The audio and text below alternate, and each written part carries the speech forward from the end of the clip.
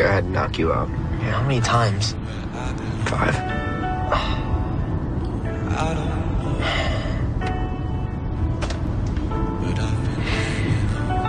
I almost killed him, didn't I? Almost. But you broke your hands trying not to. I guess that's something.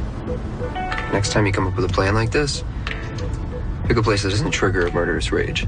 I didn't know this was gonna happen. Whether you meant it or not, you picked the spot. You made the plan. You wanted me to help. I Needed your help for anything. Be so I get angry enough to kill you myself. You brought me here because that thing that came out of the wild hunt is affecting you too. Can you you need to figure this out before you completely lose it. The Anuk-Ite causes fear. It doesn't cause anger.